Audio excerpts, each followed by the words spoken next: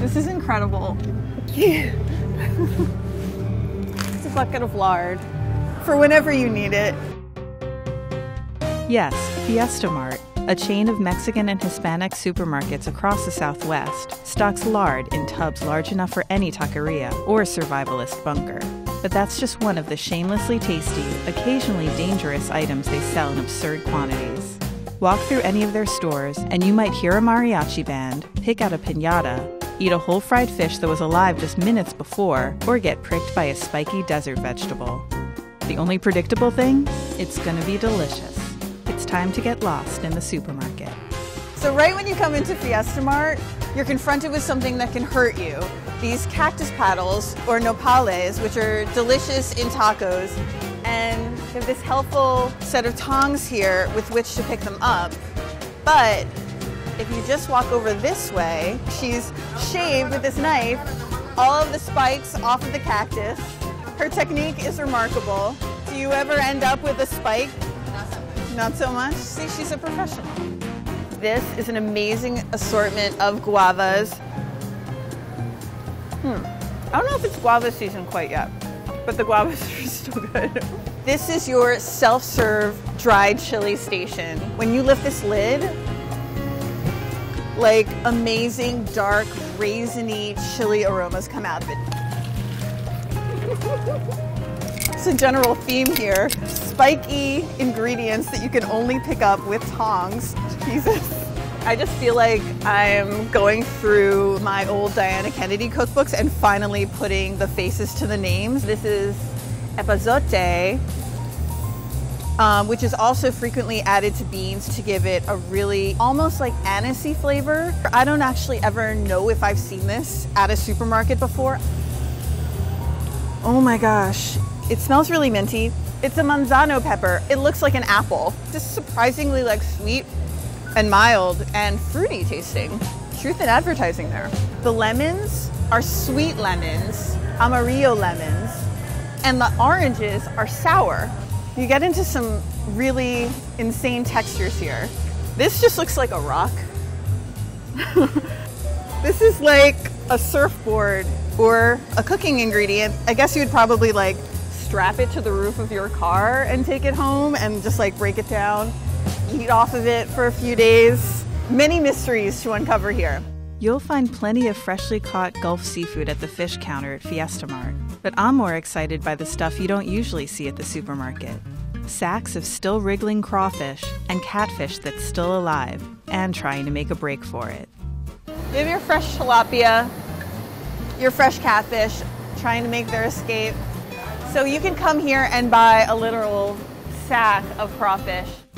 We're going from fish that's so fresh that it's alive to fish that has gone to the completely other side of its life cycle.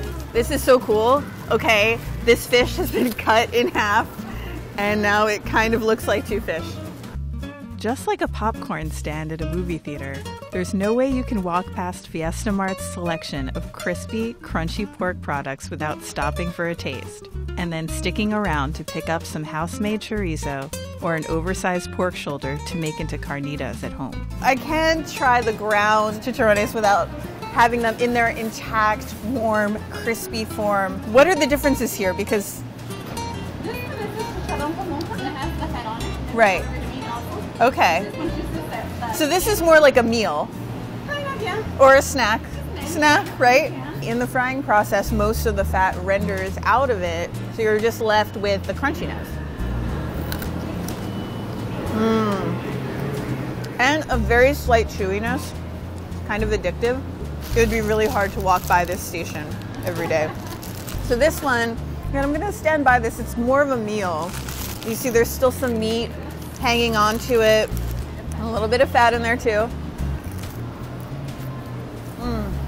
Pretty much like biting into a piece of fried chicken, only instead of fried chicken, it's pork. Oh boy. Carnitas usually takes a pretty long time to cook. In this case, it's just right here for you. Super tender, super fatty. Mm. Okay, they even sculpt their ground meat into the shape of a pig. From five varieties of Central American sour cream to cheeses you'll want to crumble over beans or melt over enchiladas, Fiesta Mart's dairy section goes far beyond that pre shredded, so called Mexican cheese you'd find at most stores. It's an almost encyclopedic selection, only rivaled by their assortment of tortillas and tamale dough.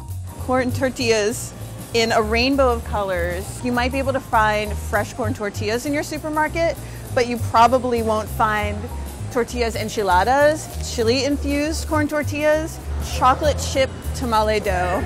You can have an entire meal of tamales from appetizer, main course to dessert. Strawberry tamale dough. One more thing that I've never seen before fresky ricas tortillas. So, this is a half cooked flour tortilla, which means that you can just finish up the cooking right in your own pan. Right alongside all the food, you'll find everything else you need to live the Fiesta Mart lifestyle. From molcajetes to exotic variations on bingo to cowboy paraphernalia. And of course, spoons that are taller than most humans. Okay, so that giant leaf from before, I guess you put it in a pot and you stir it with this. I can only imagine how powerful I would feel like stirring a pot of beans with one of these tools. You can imagine the kind of cauldron of bubbling oil that would require that. Just loving this general theme of cooking for a whole bunch of people. So, cosmetic, toiletries section, all the things you need to look good, including cowboy hats. I really want a pair of these. Like kids' cowboy boots. After all of that exploring, I've kicked up quite a thirst. Luckily, Fiesta Mart boasts a veritable rainbow of refreshments, including a full line of neon colored, cane sugar sweetened Mexican sodas and cult varieties of super bubbly mineral water. We have the jarritos in all of their colors and flavors.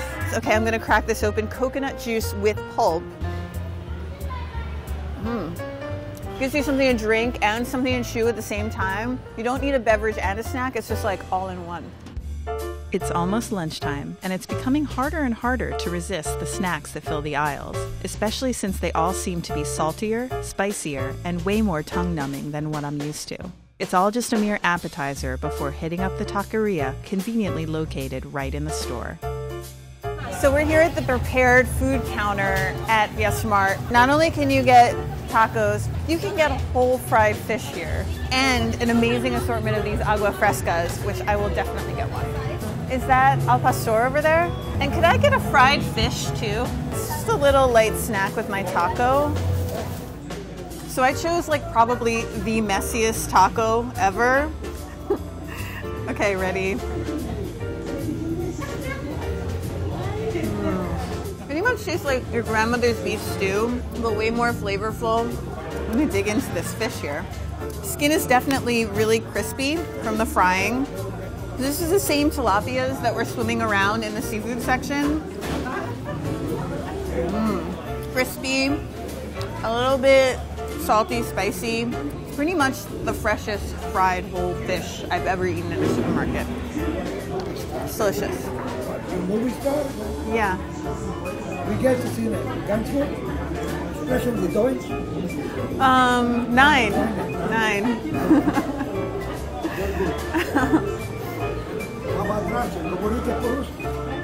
Yes. Yanni Panimayo.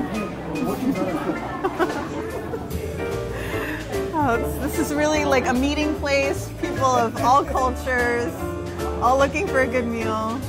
And that pretty much says it all. I've had my horizons expanded, my tongue scorched, and my ego humbled by the vast selection of foods here at Fiesta Mart. It's a welcome reminder about how much I still have to learn about Central American and Tex Mex cooking. But thanks to the genuine welcome I've received here, I won't be shy about diving right in. And if I experience any bouts of anxiety, I'll always be able to calm myself with a couple of pieces of crispy fried pork.